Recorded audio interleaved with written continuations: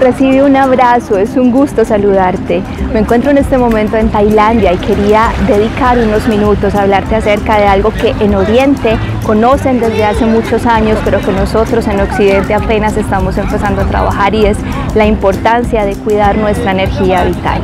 Hoy quiero hablarte acerca de cómo elevar tu energía, cómo proteger tu energía y sobre todo cómo utilizarla de la manera correcta. Hay algo que me llama mucho la atención y es que en Oriente a través de diferentes técnicas trabajan desde hace muchos años, siglos tal vez, con el cuidado de la energía. Por ejemplo, los japoneses practican el Reiki, que es una especie de curación que contribuye a la salud física a través de la del adecuado equilibrio de los puntos energéticos del cuerpo. En India se trabaja algo similar a través de lo que llamamos kundalini, de hecho hay una especie de yoga que se llama kundalini. Y en China, por ejemplo, lo practican también a través de técnicas como el tai chi, es aquel, aquella técnica en la que tú ves a las personas realizando movimientos suaves, armonizando su cuerpo. Y de esta manera ellos elevan la vibración y sincronizan los puntos energéticos. También a través de la meditación lo que hacemos es sincronizar nuestros siete chakras y de esa manera elevar los puntos energéticos de nuestro organismo. Pero quería detenerme para contarles algo muy especial acerca del taoísmo, que creo que tal vez es uno de los conceptos más integrales acerca del manejo de la energía. En el taoísmo, ellos tienen una creencia muy bonita y es que cuando nosotros nacemos, Dios, eh, el Tao, que es algo innombrable, el universo, la fuente, como quieras llamarlo, el Tao nos dice que cuando nacemos mm, llegamos con tres tipos de energía o tres tipos de regalos. Uno de ellos es el llamado yin, que corresponde a nuestra estructura física, a todos los fluidos que hay en nuestro cuerpo, a nuestra esencia física, a nuestra sangre, nuestros órganos, las características físicas que nos acompañan. El segundo es el Chen. Y el Chen tiene que ver con tus capacidades mentales, con esos dones y atributos, con esa intuición que tú eh, tienes desde el momento en que naces. Y por último, el más importante es el chi, lo que llamamos la energía vital, esa carga que te ayuda a vibrar que hace parte de tu esencia y que es la clave para crear la realidad que te rodea. Porque cuando tu chi está vibrando bajo o está vibrando alto, los resultados se manifiestan en tu realidad. El universo te genera un entorno que esté en sincronía con la energía en la que tú vibras. Imagínate que estamos hablando de eh, unas sintonización de ondas, como cuando estamos sintonizando la radio. Tu cuerpo, tu mente y tus acciones son el dial que sintoniza la música que se va a escuchar en tu vida y se sintonizan, se sincronizan a través de tu energía. Entonces, no se trata de que haya energía mala o energía buena, simplemente se trata de que hay energía densa o energía alta. Eh, quiero ponerte un ejemplo más porque si no estás muy familiarizado con este tema, al principio te puede sonar un poquito extraño. Mm, imagínalo como el agua, que puede alcanzar diferentes estados. Todo lo que estamos viendo en nuestro plano material es vibración. La materia, de hecho, lo demuestra la física cuántica, no es más que una serie de, de vibraciones en las que los átomos, los electrones y los protones están permanentemente y eso es lo que nosotros percibimos como lo denso, pero en realidad todo es energía.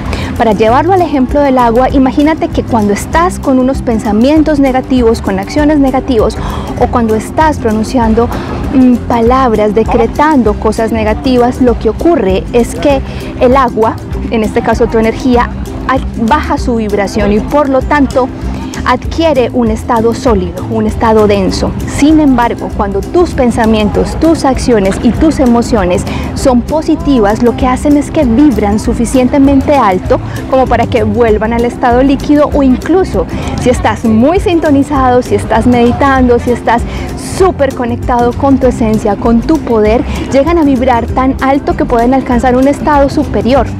Eh, de conexión con la fuente. Imagínate que es como el agua que cuando está vibrando muy fuerte con el calor, lo que hace es que se vuelve tan sutil que se evapora, se vuelve vapor. Entonces, para recapitular, tu vida es un reflejo de la energía en la que tú estás vibrando. Tus pensamientos, tus acciones y tus emociones determinan cómo estás sintonizando tu energía. Es muy importante entonces que seas consciente de esto, que todo, toda la vida, todos los días, cuando tú te levantas, estás creando tu realidad y que tu realidad es directamente proporcional a la forma en la que tú te estás sintiendo. Cuando tú te levantas y te derramas el café por la mañana y empiezas a decir hoy va a ser un mal día y empiezas mal geniado, sales de tu casa mal, peleando con tus seres queridos, no te sientes bien, eh, en efecto, eh, en psicología lo llamamos profecías autorrealizadas, si lo miramos desde el concepto de la energía, lo que ocurre es que ese día llegas tarde a la oficina, te regaña tu jefe, mm, no logras alcanzar el bus, el metro, todo te sale mal precisamente porque tu energía es tan densa que lo que estás atrayendo a tu vida son cosas y situaciones, personas y circunstancias que vibren en la misma situación, que estén lo suficientemente bajos como para sintonizar contigo. Entonces, eso es lo más importante. Mucho cuidado con tus pensamientos, con tus palabras y con tus emociones. Pero lo segundo es que en la vida también las personas son vampiros de nuestra energía. Cuando tú estás vibrando muy alto y estás rodeado de personas que también están en tu misma sincronía, lo que hacen es que juntos se suman y juntos elevan su vibración, lo cual es sumamente positivo. Pero cuando tu energía no es lo suficientemente alta, eres muy vulnerable a que personas con una energía densa te roben la tuya. Este tipo de personas que solo te buscan para quejarse, que solo te buscan para hablar negativamente, para criticar, para decir mentiras, lo que están haciendo es que necesitan de otras personas para descargar aquello que está en su interior y, que les está pesando. Consciente o inconscientemente tú te vuelves en un receptor de esa energía densa. Por eso es que hay que tener muchísimo cuidado con las personas y con los ambientes, los ambientes tóxicos. Si quieres más información acerca de esto, te invito a que visites mi canal de YouTube. Tengo un video hermoso acerca de cómo protegernos y sobre todo cómo tratar a las personas tóxicas. Así que mucho cuidado con los vampiros y con los ladrones de tu energía, mucho cuidado con tus acciones, con tus pensamientos y con tus emociones, pero sobre todo, recuerda que tú no eres víctima, que tú eres un protagonista, que tú eres un creador, que Dios, la fuente, el universo, te han dotado de los recursos mentales, físicos y sobre todo espirituales suficientes como para que crees una realidad de abundancia, de prosperidad, que puedas materializar todo aquello, que sueñas. Para mí, por ejemplo, este viaje de un mes por Asia era un sueño y lo materialicé.